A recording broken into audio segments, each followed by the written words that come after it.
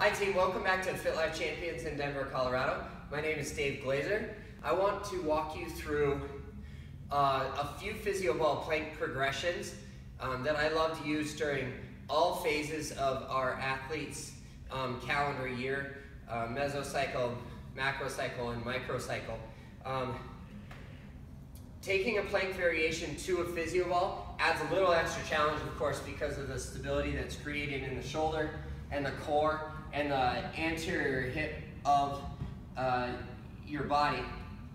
Um, of course, we're going to identify the easiest version, simply placed right there on our forearms and elbows directly below the shoulder.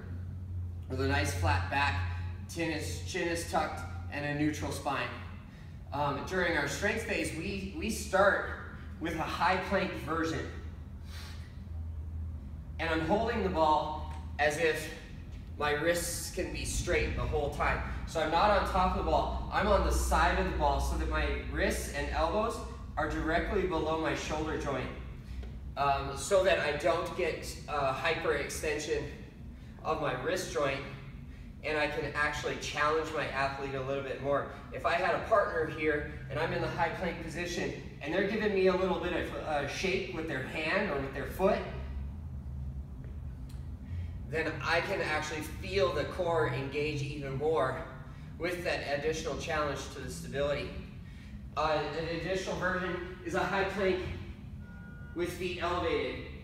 Back flat, chin is tucked, and then uh, my partner can come by and give it a little kick underneath the feet so that my core has to stabilize even more. Not so much of a kick that it flies across the room like that, but just a little kick so that I have to restabilize my hips in an elevated position. So those are a few versions that we use during the strength endurance phase at Fit Life Champions. Again, my name is Dave Glaser. For the best online mentorship program available for personal trainers who want to build a business, master online training, and eventually open their studio, head on over to daveglaser.com. Thank you.